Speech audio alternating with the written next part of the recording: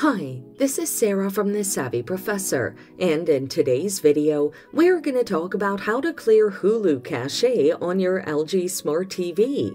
Watch the video until the end to learn this and more. Clearing the Hulu cache on an LG Smart TV helps free up more space and enables better app performance. However, there's no direct method to do this, but you can follow these simple methods to work around it. Delete and reinstall Hulu. Go to Apps by selecting the app icon on your TV using your LG Smart TV remote. Find the Hulu app from your list of available applications. Select Uninstall to delete the app from your TV. It clears all current data plus cache files. Install the app again as new for better performance. You can now log in to your cache-free Hulu account close the Hulu app.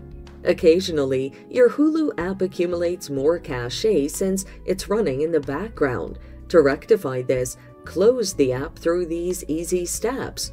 Go to the Recent App section page by pressing the button on the LG Smart TV remote. Select the Hulu app and hit the X icon above the Hulu app to close the app. You're all done.